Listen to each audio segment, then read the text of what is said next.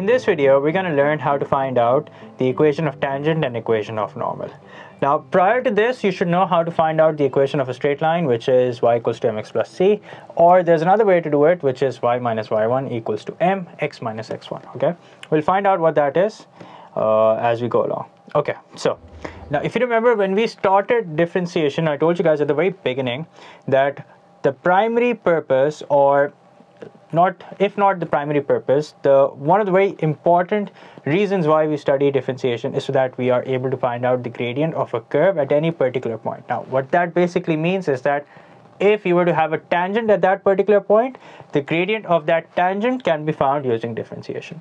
And we do the exact same thing in math, but in math we do that graphically, okay? We actually draw a tangent and we find out the gradient. And I told you guys that in math, our answers are not as accurate. In differentiation, you get the accurate answer. Okay, so that's, that's one of the reasons why we study differentiation. One of the most important reasons, okay?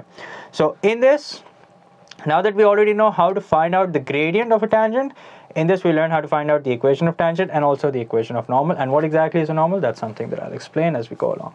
Okay, so first we're going to discuss the theoretical aspect of it and then I'll explain it further with the help of an example as always. Okay, so here I have a curve, okay? So I don't have the equation of the curve, okay? Like I said, we're going to discuss this generally. And let's say that the question says that find the equation of the tangent, okay? At x equals to x1 okay? So that's what the question is that find let's write this down the equation of the tangent at x equals to x1 so i'm going to try and be as elaborate as possible and i'm going to make it uh, make you guys write this down in in, in uh, stepwise so that you know you don't have to so that you know how to do this systematically okay? Okay so now the first thing you need to know is what exactly the question asking for okay? That's something that we need to understand first that what exactly does the question mean when it's saying find the equation of the tangent at x equals to x1 because we don't really have a tangent at x equals to x1 so well if you were if we were to actually draw a tangent at x equals to x1 this is what the tangent is going to look like all right? So there you go. Let's extend this a little. Slide it up. Yeah okay. Now again the whole idea is not to obtain an answer by uh, graphically okay? This is just to get the idea across. Okay so this is the particular line of which the equation of which we want the equation okay? So yeah. So the first thing we need to do is that we want to find the gradient of what? The gradient of the curve at x equals to x1 okay? So i'm gonna i'm gonna say that this curve has equation y. I'm gonna say y equals to f of x okay? So let me turn this uh, red because that's what we're using okay? So this is y equals to f of x. F of x basically means it's a function of x okay? So step one here's step one. Now step one is like i said that the first thing we want is the gradient of the curve at x equals to x1 is to find dy by dx or f prime of x which basically means the same thing is that in short what we need to do is we need to differentiate the equation of the curve okay? So that's step one done okay?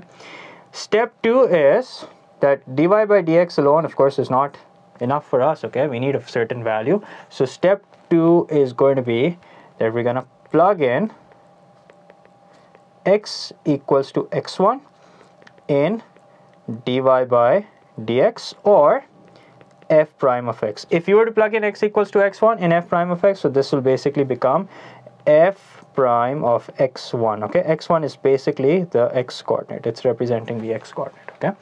So after you've done that, what do you have now? You have the gradient of the curve at x equals to x1, okay? So I'll write it over here that right after doing this, you have now successfully obtained the gradient of the curve at x equals to x1 or simply you have the gradient of the tangent okay? So i'm just going to put a check there that we now have the gradient okay? So the format of the straight line equation that we're going to use the general for uh, the general equation is y equals to mx plus c. That's something that we do in math.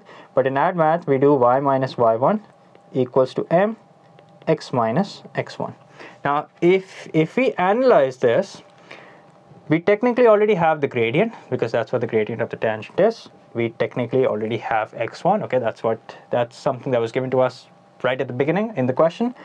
So what there's there's still a missing piece of the puzzle, and that is y1, which is basically the y coordinate. Okay, so it's basically this point right here. Okay, I've highlighted it for you guys. So we have the x coordinate, but we don't have the y coordinate. Okay. So what exactly that what exactly is it that we need to do in order to obtain the y coordinate? Well, that's that's what we're going to do in step three. Is that we're going to plug in x equals to x1 in the equation of the curve to obtain the y coordinate. Okay. So I'll write it over here.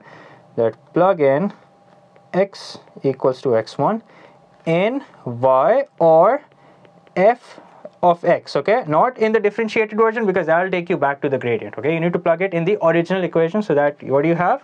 You have y1 to obtain so i'm calling it y1 so that we can distinguish or differentiate between y and y1 okay? So let me let me show you guys what i'm talking about. So this point right here is basically y1 okay once you've done this, uh, what do you have? You have the gradient, you have the x coordinate, and you also have the y coordinate. So it's just a matter of putting all these ingredients together and finally getting your hands on the equation of the tangent. So here's step four.